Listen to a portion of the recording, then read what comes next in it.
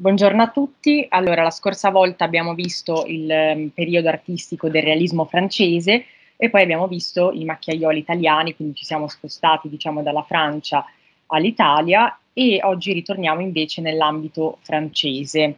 Uh, la Francia che uh, abbiamo visto già a partire dall'epoca del neoclassicismo uh, diventa un po' il centro dell'arte, mentre per secoli lo era stato l'Italia nel periodo per esempio rinascimentale e quello barocco, eh, invece eh, nel, eh, alla fine del Settecento e nell'Ottocento il centro culturale, il centro artistico è rappresentato soprattutto da Parigi, quindi dalla Francia.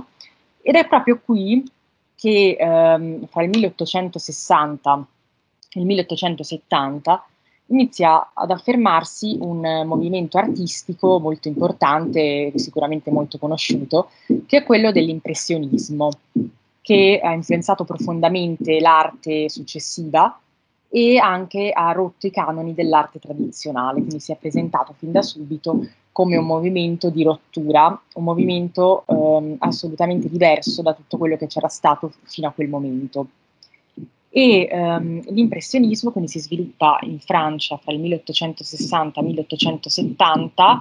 eh, la prima esposizione di opere impressioniste è del 1874 presso lo studio del fotografo Nadar, una famosa esposizione eh, in, a cui partecipò anche quest'opera Impression Soleil Levant, eh, che vedete in foto,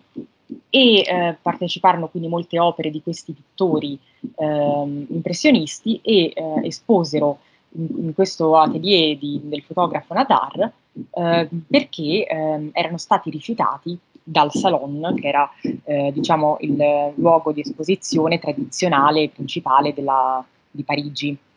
Quindi, anche con un intento polemico, decisero di organizzare una mostra alternativa e eh, furono poi ribattezzati sprezzantemente dalla critica impressionisti, proprio prendendo spunto dal nome di quest'opera di Monet, eh, impression, cioè impressione, il soleil levant, il sole che sorge, il sorgere del sole, e eh, proprio a partire da questo titolo di quest'opera furono ribattezzati impressionisti. Poi i pittori di questo movimento decisero di fare propria la definizione, cioè di, di autochiamarsi in questo modo, perché effettivamente ritenevano che eh, rappresentasse bene quello che loro volevano esprimere all'interno delle loro opere. E che cosa volevano esprimere? Gli impressionisti volevano catturare eh, soprattutto l'impressione, il momento, quindi volevano rappresentare soprattutto il paesaggio, ma anche la vita quotidiana della borghesia e cogliere l'essenza dell'attimo, del momento. Quindi c'è l'importanza che viene data al paesaggio che diventa eh, sicuramente centrale e soprattutto eh, con delle pennellate molto rapide eh, vengono rappresentati eh, tutte le impressioni, gli effetti cromatici, cioè di luce, di colore, che si presentano all'occhio dell'osservatore in quel determinato momento. E la novità, eh, oltre chiaramente come vedremo poi bene nel, affrontando le varie opere, eh, la novità oltre ad essere questa della, mm, diciamo, di catturare l'impressione del momento, ehm, è sicuramente data dal modo in cui dipingono questi artisti. Questi artisti dipingono infatti en plein air, che significa in francese all'aria aperta, cioè ehm, invece di dipingere nello studio come si faceva solitamente, quindi invece di eh, ritirar- ritirarsi nel proprio studio a eh, dipingere per giorni ehm, e per mesi, Abbiamo invece ehm, una pittura all'aria aperta, quindi per la prima volta abbiamo la pittura en plein air all'aria aperta, quindi direttamente gli artisti vanno sul posto, cioè sul luogo in cui ehm, devono dipingere il paesaggio e realizzano la tela in poche ore, quindi anche per questo le pennellate sono rapide, ma anche per dare l'effetto diciamo, dell'impressione ehm, del, del, paesaggio, quindi per due motivi, sia per ehm, completare l'opera eh, in, prima che faccia buio, prima che appunto eh, finisca la giornata e quindi in poche ore viene completata l'opera, ma anche perché si vuole catturare l'essenza del momento, dell'effetto di luce in quel determinato istante. Quindi importante soprattutto qui sono gli effetti del paesaggio, della luce, del colore e, ehm, e quindi si vuole catturare eh, appunto eh, questo effetto e la pittura in plein air fu resa possibile grazie all'invenzione dei colori in tubetto, eh, perché prima eh, bisognava comunque ehm, attraversare un processo piuttosto lungo di preparazione dei colori eh, mescolando i vari pigmenti nello studio, quindi c'erano tutti i disegni preparatori. Invece in questo caso la maggior parte degli impressionisti non utilizza dei eh, disegni preparatori, ma dipinge direttamente sulla tela, quindi all'aria aperta, in plein air. Quindi abbiamo delle innovazioni profonde eh, che cambiano completamente il modo di concepire l'arte, non tanto e non solo nella scelta dei soggetti, ma soprattutto nel modo in cui questi soggetti vengono rappresentati.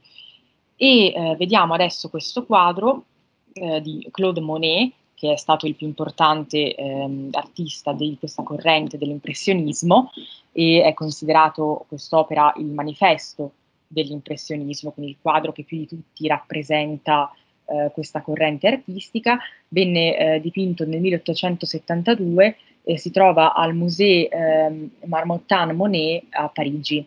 quindi eh, si trova a Parigi un museo dedicato proprio a Monet. Abbiamo ehm, in particolare eh, quest'opera che rappresenta un porto, quindi il porto di Le Havre,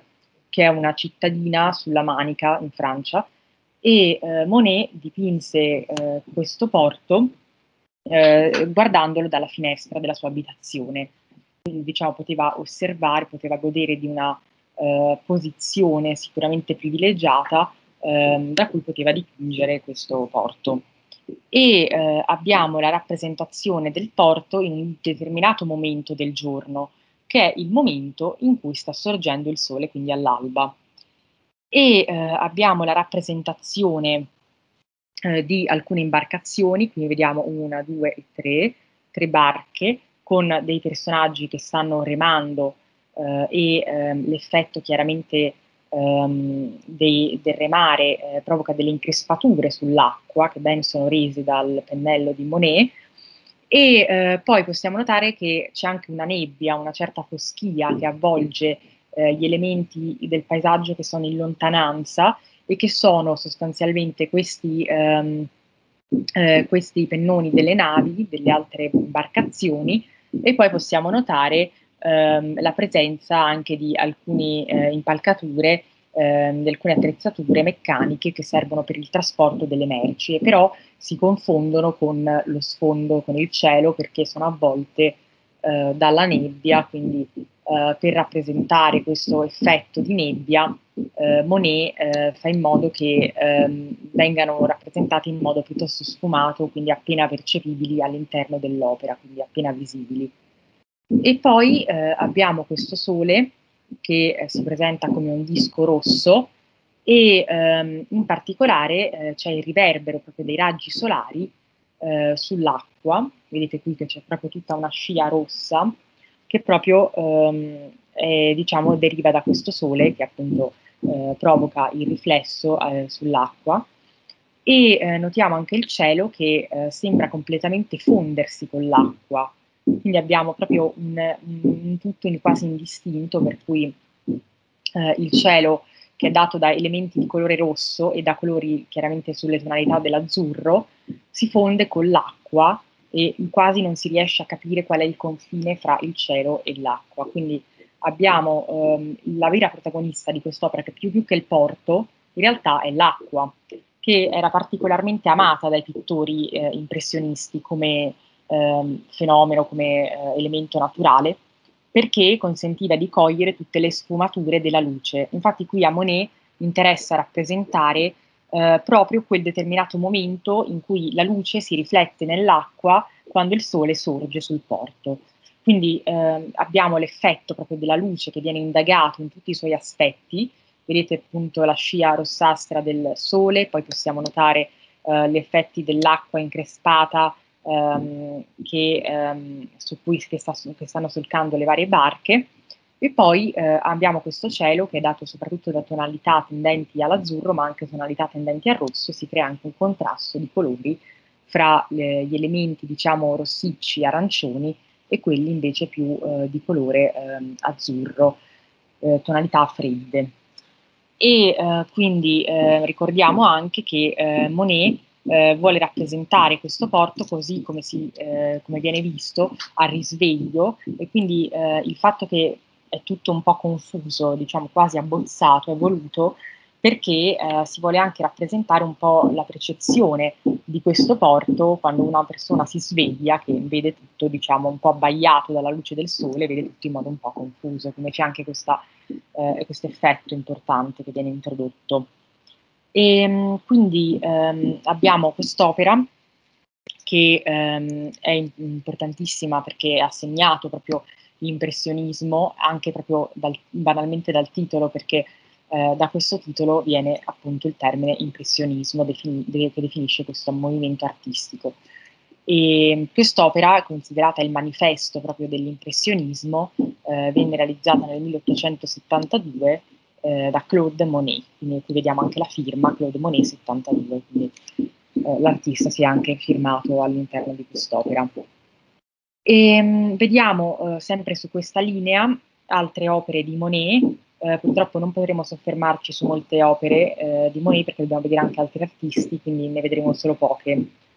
Uh, però ricordatevi che è stato comunque il più importante, probabilmente il più importante degli impressionisti, poi in realtà sono stati molto uh, importanti quasi tutti i pittori dell'impressionismo, però comunque Monet è stato un po' uh, diciamo colui a cui ha associato proprio più di tutti l'impressionismo. vediamo un'altra delle sue opere, che è La passeggiata, di poco successiva, è del 1875 ed è eh, conservata a Washington, quindi eh, negli Stati Uniti. Quest'opera ehm, rappresenta innanzitutto un, una scena di vita quotidiana, quindi abbiamo un altro soggetto diverso, cioè mentre prima aveva rappresentato un paesaggio, qui rappresenta sì un paesaggio ma anche una scena di vita quotidiana con delle figure umane. E chi sono questi personaggi? Questi personaggi sono eh, la moglie di Monet, Camille, e suo figlio, il loro figlio, quindi abbiamo eh, la rappresentazione eh, di questi due personaggi eh, che si trovano all'aperto ehm, ad Argenteuil, che era una località francese dove spesso soggiornavano, e ehm, in particolare eh, abbiamo la rappresentazione di una giornata estiva, quindi capiamo che è una giornata estiva dal fatto che c'è questa luce proprio eh, quasi accecante che illumina ehm, il prato. Quindi vediamo appunto questi eh, riflessi proprio della luce eh, che eh, rendono il cielo particolarmente chiaro, poi possiamo notare anche si riverbera proprio sul, sul prato, quindi la luce accecante e anche il fatto che c'è questo parasole, questo ombrello che protegge dal sole la donna, ci fanno capire che è una giornata estiva e che quindi questi due personaggi si trovano sotto i raggi cocenti del sole. Eh, notiamo che eh, Monet è molto attento a rappresentare anche i fenomeni atmosferici. Vediamo che le pennellate sono molto rapide ehm, e eh, spesso sono date da accostamenti di colore poco definiti, quindi in realtà ehm, l'opera acquista un vero e proprio significato quando la si guarda nell'insieme. Questa è una caratteristica eh, di molte opere impressioniste che se noi ci soffermiamo sul singolo dettaglio di colore, eh, diciamo, eh, non assume un particolare significato, ma se poi invece guardiamo l'opera nell'insieme, eh, allora ehm, diciamo acquista un altro significato, una visione d'insieme eh, più aderente alla realtà. E notiamo anche il vento che viene rappresentato da Monet eh, attraverso il movimento dell'abito della donna,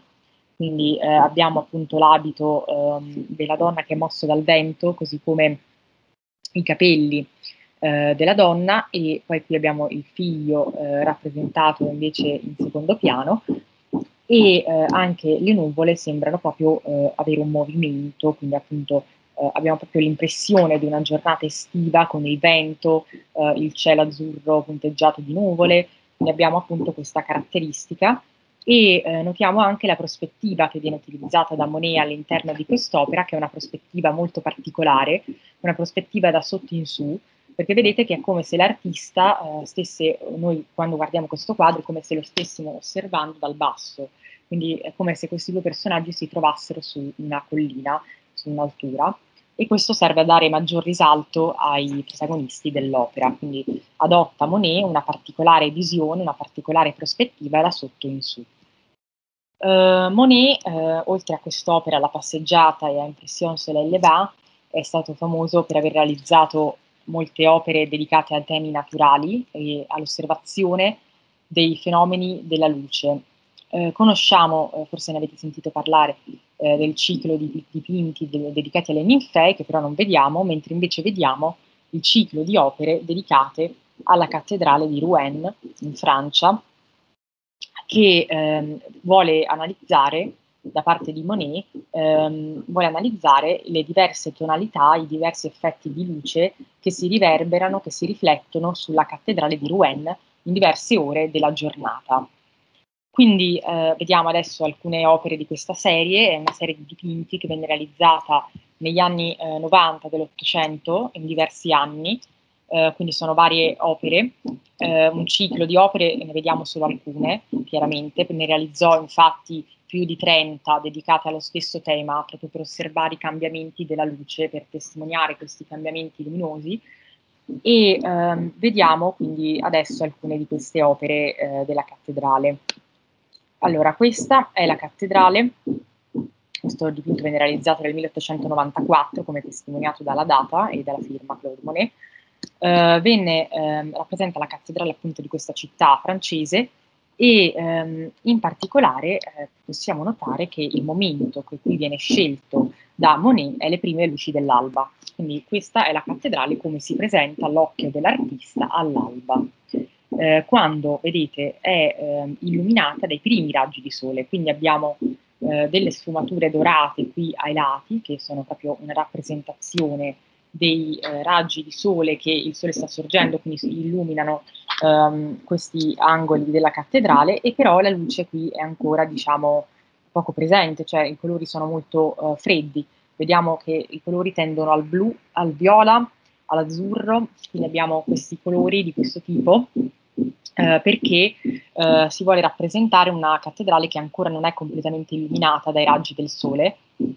e ehm, notiamo che eh, è quasi immersa nel buio ancora, quindi è a stento distinguibile il suo contorno, vedete che è proprio data tutta dal colore anche. Questa è una caratteristica eh, del modo di dipingere di Monet, cioè il fatto che non ci sono dei contorni ben definiti, ma vediamo appunto le pennellate rapide, quasi delle macchie di colore, però in realtà sono filamenti più che altro di colore, pennellate rapide, e eh, notiamo che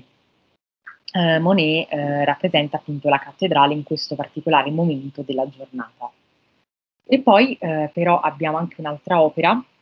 un'altra opera che fa parte di questa serie, in cui rappresenta la cattedrale in un altro momento, vedete che è sempre lo stesso soggetto, la rappresenta in un altro momento della giornata, che è il momento del mezzogiorno, quando il sole si trova allo zenith, quando il sole si trova nel punto più alto e illumina la cattedrale vedete che qui i colori sono completamente diversi. Abbiamo infatti un colori molto più chiari, molto più caldi, tendenti al giallo e anche però c'è un residuo di azzurro e ehm, notiamo anche del viola e azzurrino nella parte soprattutto inferiore ai lati per rappresentare gli effetti dell'ombra, quindi chiaramente c'è il sole che illumina la cattedrale, ma comunque chiaramente se c'è il sole ci deve essere anche l'ombra, quindi abbiamo anche la rappresentazione dei, dei reparti della cattedrale che sono in ombra. Quindi questa è eh, la cattedrale a mezzogiorno, la cattedrale di Rouen a mezzogiorno. Um, e poi um, abbiamo invece un'altra uh, opera di questo ciclo che la rappresenta al tramonto. E qui è molto particolare l'uso del colore, qui vedete un'intensa tonalità di giallo-arancione, quasi dorata, la cattedrale sembra proprio un faro dorato quasi. Quindi è proprio immersa nella luce, però vediamo anche le, le ombre che iniziano ad avanzare e quindi il viola nella parte inferiore dell'edificio, nella base, quindi abbiamo il viola, cioè che sarebbe l'ombra che avanza ehm, sulla superficie della cattedrale, mentre la parte superiore è ancora illuminata da questa luce del tramonto, che è una luce particolare, no? una luce eh, più arancione rispetto a quando il sole è allo zenith, quindi una luce eh, più tendente al dorato. E per questo motivo abbiamo la cattedrale che viene rappresentata con queste sfumature di giallo, di arancione, d'oro, ehm, per rappresentare proprio i riflessi del tramonto che si specchiano eh, sulle sue pareti e però c'è anche l'ombra che avanza, quindi nella parte inferiore viene rappresentata anche eh, la parte dell'ombra. E questo è Claude Monet, mm, uno dei più importanti artisti eh, dell'Ottocento francese, dell'impressionismo, e eh, vediamo adesso altre opere di, ar- di, altri artisti. Ecco, purtroppo non mi sono potuta soffermare molto su Monet perché sono le ultime lezioni, quindi eh, volevo almeno concludere il, il, il fenomeno dell'impressionismo. Um, abbiamo uh, in seguito altri artisti importanti, come per esempio Renoir, uh, Ballo al Moulin, al Moulin de la Galette. Uh, Renoir è stato un importantissimo artista del movimento impressionista, quindi stiamo parlando sempre della stessa corrente, e um, realizza eh, quest'opera che invece rappresenta un'altra tematica eh, sempre diciamo, affrontata dagli impressionisti. E questa tematica è la tematica, questo dipinto sempre realizzato tra gli anni 60 e gli anni 70 dell'Ottocento, eh, rappresenta un'altra tematica che è quella ehm, della vita quotidiana, le abitudini della borghesia. Quindi vengono indagate scene di vita quotidiana, questo soprattutto da parte di Renoir e eh, vediamo che la scena rappresentata è il ballo in un locale, Molin de la Galette, eh, chiamato così perché eh, Molin, perché eh, mulino, cioè nel senso che eh, c'era un, ehm, era un locale che era stato ricavato da un mulino abbandonato e poi eh, Galette è un riferimento ad un tipo di pietanza, quindi ehm, un dolce, la galette, quindi abbiamo questo ehm, riferimento. Uh, ballo, uh, il ballo, quindi uh, in questo locale che si trovava a Montmartre e eh, era particolarmente frequentato dagli artisti, ehm, quindi anche dai pittori, chiaramente dallo stesso Renoir, quindi lui rappresenta una scena di vita a cui aveva eh, preso parte, diciamo. Quindi. E ehm, abbiamo in particolare la, la, rappresentazione pittorica che è eh, affollata di personaggi eh, vedete eh, per esempio spicca questa coppia che è stretta in un ballo, eh, poi possiamo notare due ehm, signorine che stanno conversando con un giovane di spalle e altri personaggi che sono seduti ad un tavolo. E poi troviamo altri personaggi che sempre stanno o conversando o ballando eh, all'interno di questo locale. Notiamo ehm, in particolare la, il modo in cui Renoir dipinge queste figure, sempre con delle pennellate molto rapide, poco nette, quindi abbiamo questi filamenti di colore ehm, che non, non, hanno contorni definiti ehm, e questo è molto particolare, è sicuramente una caratteristica che eh, consente di, far, di, capire che Renoir è un impressionista. E eh, quindi abbiamo questi personaggi, eh, quindi la scena di vita quotidiana che però viene rappresentata alla maniera degli impressionisti, cioè con queste pennellate molto rapide, dai contorni quasi indefiniti, e ricordiamo che eh, assumono eh, significato eh, queste rappresentazioni proprio quando la si, le si guarda nell'insieme, quindi quando si guarda proprio il colpo d'occhio ehm, da lontano, infatti questi quadri sono soprattutto nati per essere osservati da lontano e non troppo da vicino, ecco. E possiamo notare anche i riflessi eh, di luce che vengono eh, dall'alto, quindi probabilmente da, dall'illuminazione di questo locale, e, ehm, e, vediamo appunto questa luce che si riflette proprio sui personaggi, vedete qui queste macchie luminose, anche qui illumina la coppia che balla, quindi abbiamo proprio dei, dei tratti di luminosità, di eh, tonalità più chiare che servono proprio a riflettere ehm, i, ehm, il, riverbo, il riverbero della luce eh, sui eh, vari clienti del locale, quindi abbiamo anche questo gioco di luminosità, di colori molto intenso, che è una, una caratteristica proprio della pittura dell'impressionismo, cioè l'attenzione a questi fenomeni eh, cromatici, cioè di, di colore, di luce. Questo è Renoir e poi possiamo notare sempre di Renoir anche la, la colazione dei canottieri del 1882 che ehm, rappresenta ehm, allora, una scena sempre di vita quotidiana della società, diciamo, frequentata da Renoir. Infatti questi sono dei personaggi amici e conoscenti di Renoir. Per esempio possiamo trovare Aline, che diventerà sua moglie, quindi abbiamo anche un personaggio a lui caro,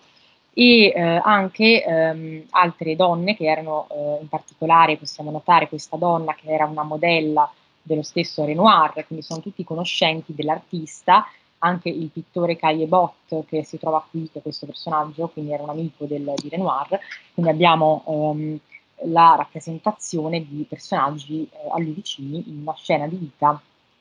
quotidiana. Quindi è un ristorante, una veranda all'aperto, ehm, dove ehm, si ritrovavano spesso i canottieri, quindi appunto eh, dopo eh, le loro attività,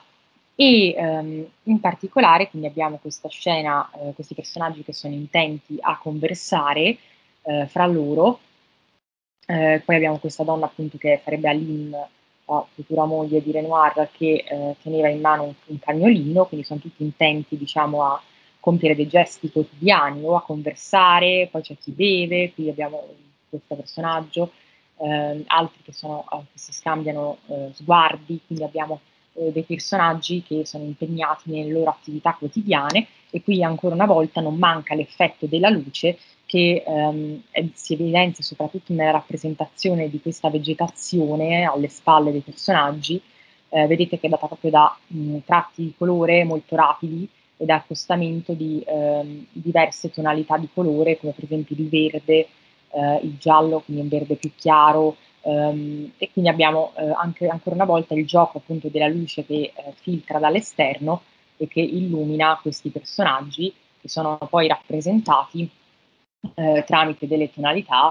um, particolari di colore, tramite dei filamenti di colore, quindi tratti molto rapidi e colori poco netti. Um, notiamo anche un'altra novità di questo dipinto, che in realtà era presente anche in questo dipinto, che è il taglio del dipinto. Vedete che ci sono eh, i contorni della scena, sembra proseguire oltre i contorni del quadro. Vedete qui che abbiamo dei personaggi che sono proprio tagliati a metà, come se fosse una fotografia. Anche qui vedete appunto questa figura che è proprio tagliata a metà, come se eh, stessimo osservando una fotografia che non è riuscita a catturare tutti i personaggi. Questa è sicuramente una novità, è un'impostazione del quadro nuova che, perché di solito venivano rappresentati chiaramente ehm, i personaggi eh, in modo completo, quindi non c'era l'idea che il quadro proseguisse al di fuori della tela. Invece qui eh, troviamo questo elemento di carattere innovativo,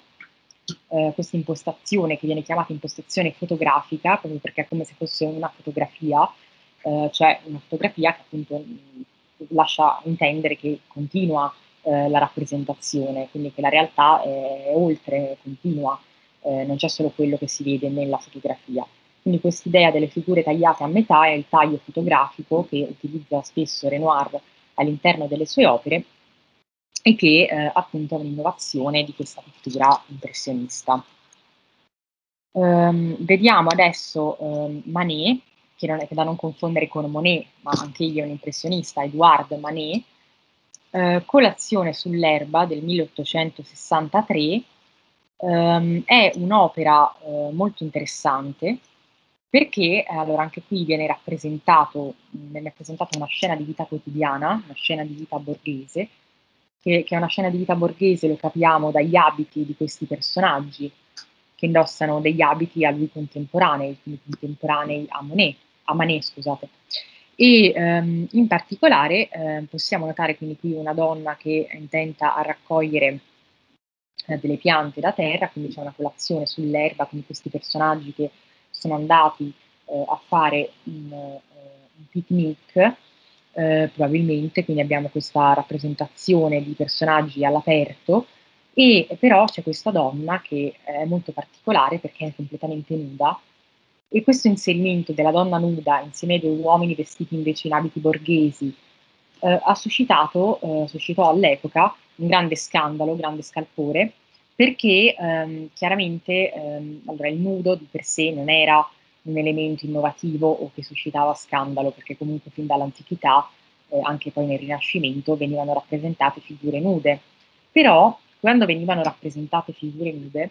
venivano rappresentate perché c'era un motivo, erano rappresentazioni di allegorie, eh, rappresentazioni mitologiche o di personaggi dell'antichità, quindi c'era una spiegazione.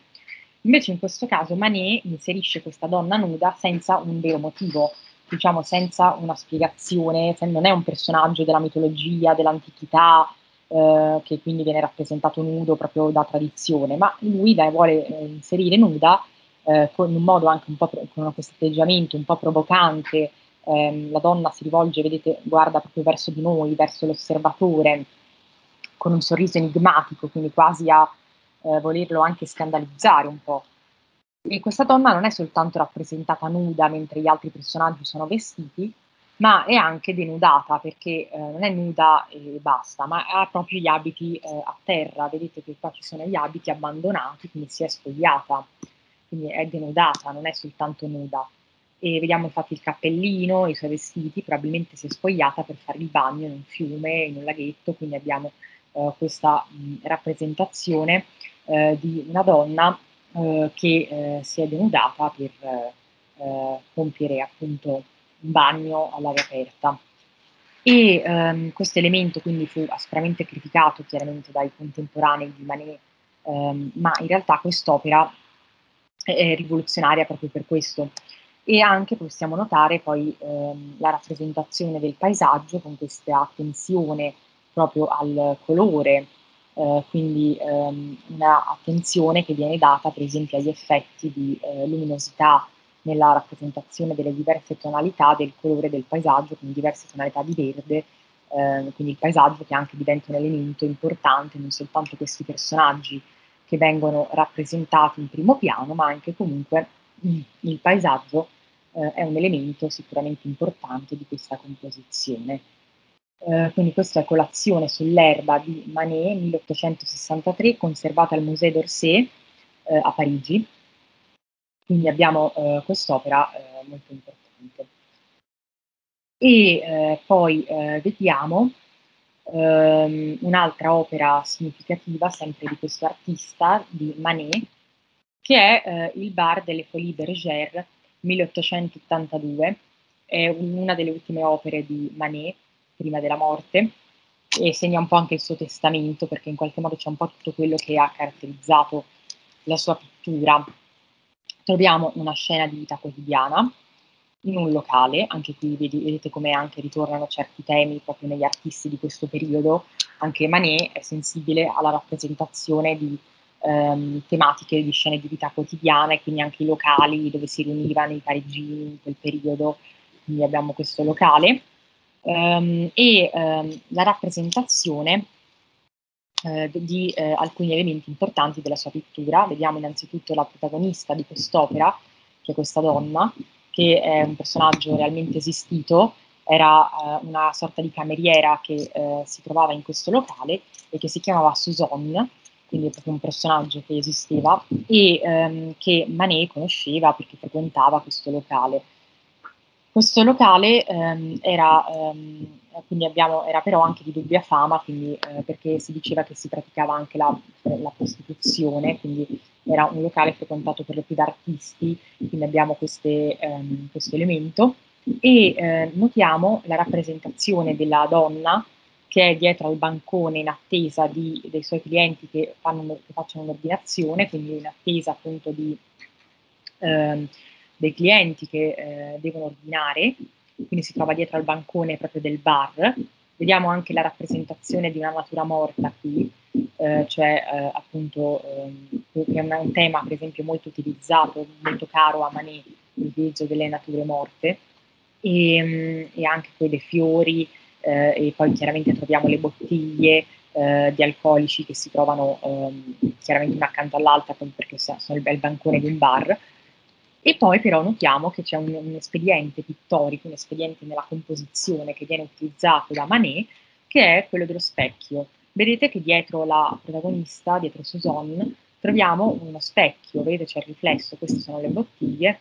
e sono queste, e qui questa è la donna di spalle rappresentata nel riflesso. E vediamo anche eh, che eh, in modo anche un po' enigmatico eh, la protagonista Suzanne si rivolge ad un personaggio che però non è rappresentato in questo quadro. Vedete nel riflesso lei sta parlando con un personaggio che si è avvicinato al bancone del bar.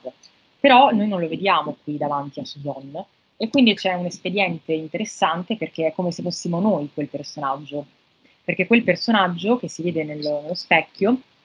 eh, si trova esattamente dove ci troviamo noi osservatori. Quindi eh, in qualche modo ehm,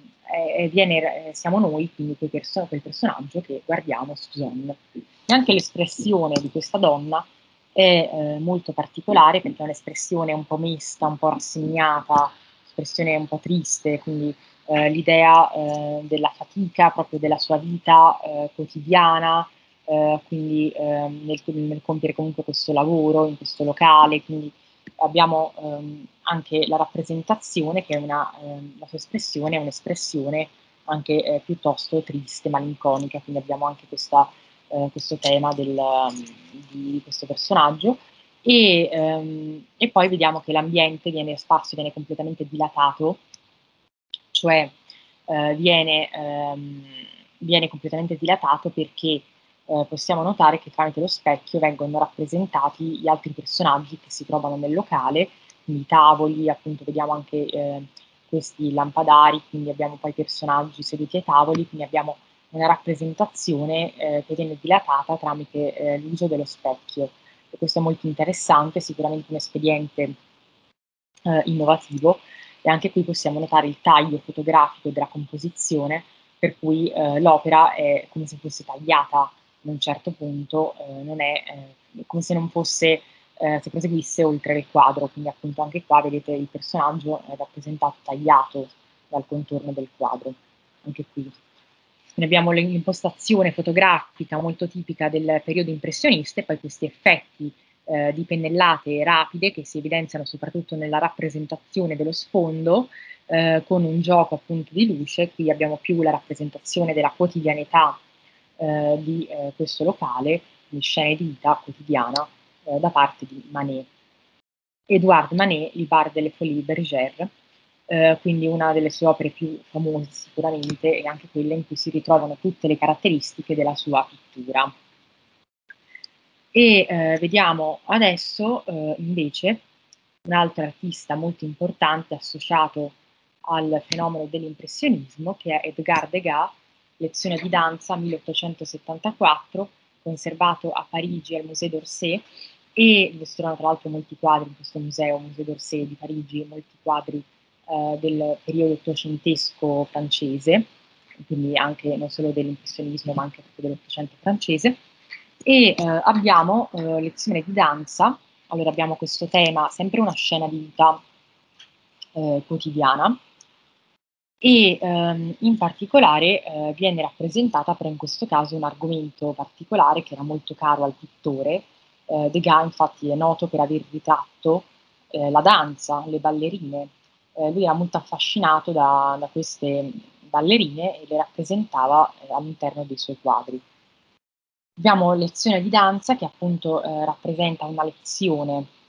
una lezione di ballo, di danza che si svolge presso eh, l'Opera di Parigi, grazie a cui, eh, grazie a un amico, lui poteva entrare a vedere queste lezioni, quindi aveva potuto osservare dal vivo una di queste lezioni di danza.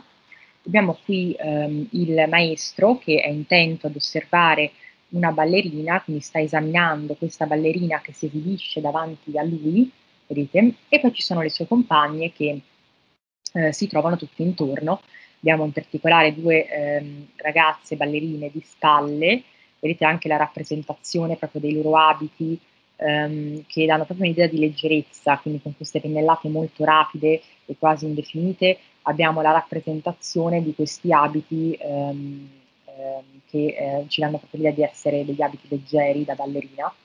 E eh, notiamo eh, qui la rappresentazione, quindi altri personaggi che si trovano sempre in, in, atto di ballare o comunque di osservare questa esibizione di questa ballerina esaminata dal, dal maestro. E ehm, notiamo anche qua un'impostazione di taglio fotografico, quindi di tipo fotografico, quindi anche qua vedete eh, la ballerina qua viene tagliata in due addirittura dalla tela, quindi anche qui il eh, vestito non è completamente rappresentato all'interno dei contorni del quadro, ma eh, va a finire oltre il quadro, quindi eh, abbiamo eh, questo taglio fotografico che è un'innovazione che viene introdotta in questo periodo ed è utilizzato come vedete da molti pittori. E ehm, quindi questo tema ehm, della danza che era molto caro a Degas e che si ritrova in diverse opere, fra cui appunto questa che è Lezione di danza di Edgar Degas,